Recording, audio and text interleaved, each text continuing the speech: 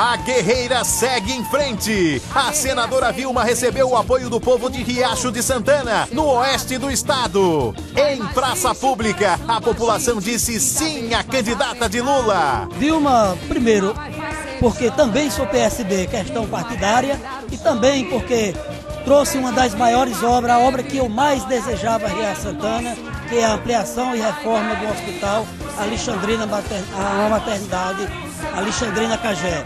Em Major Salles, o povo parou para ouvir a mulher que trabalha e está ao lado do Rio Grande do Norte.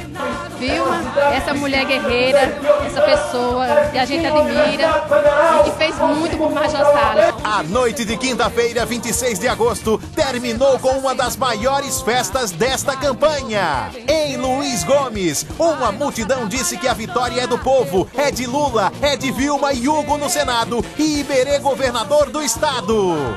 Vilma é uma governadora que fez um grande governo, essa grande prefeita de Natal, essa mulher que tem o nome de guerreira, deputada federal, é, que fez muito pelo Brasil, pelo Rio Grande do Norte.